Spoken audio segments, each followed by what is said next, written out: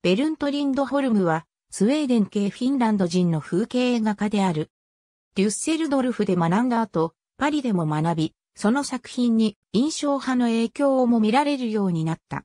海岸の風景を描くのを得意とした。現在のウーシマー県のロビーサに生まれた。故郷は当時、ロシア皇帝が大公を兼ねるフィンランド大公国に属していた。ポルボーの風景画家、クヌートソンに絵を学んだ後、1856年にトゥルクの美術学校に入学し、エクマンの下で1861年まで学んだ。1863年にドイツに移り、デュッセルドルフ美術アカデミーで2年ほど学んだ後、カールスルーへの美術学校に移り、ハンス・ギューデの下で学んだ。1870年にヘルシンキで個展を開き、評価され、1873年にはロシアのサンクトペテルブルクの美術アカデミーの会員に選ばれた。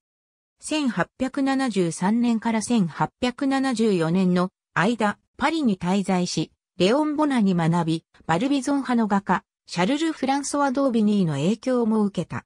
1876年のフィラデルフィア、バンコク博覧会に出展し入賞した。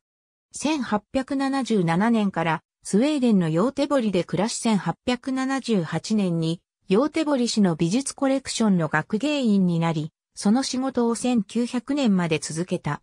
ヨーテボリの美術学校、ゴーティボーグスムゼーリトスコラでも教えた。スウェーデン王立美術院の会員に選ばれた。作家、ザ・クリストペリウスの著作の挿絵も描いた。ヨーテボリで没した。ありがとうございます。